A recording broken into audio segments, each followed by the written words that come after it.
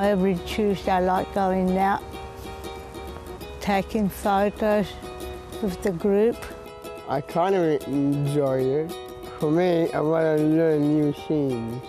The groups run through Mosaic uh, Support Services as part of our visual arts uh, programs. I picture all the times around this photograph.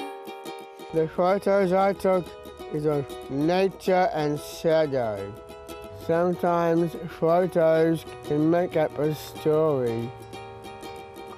Story writing is what I'm good at.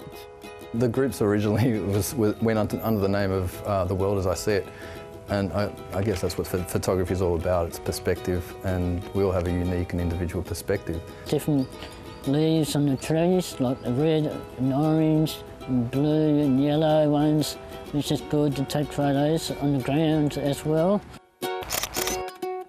We use um, DSLRs, uh, which at the time when we started, that's what we had available, um, but also because we wanted to give the guys a chance to use something professional rather than, you know, a snappy, happy camera. Very good to use, better than not the small one.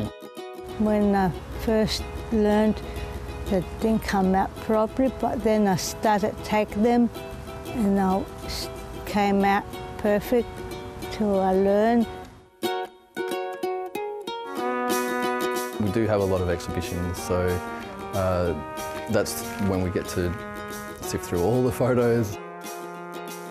We do a bit of photoshopping as a group um, with composites, putting stacking photos and, and blending between. People from Mosaic print them on the bag, the cups. I love it completely.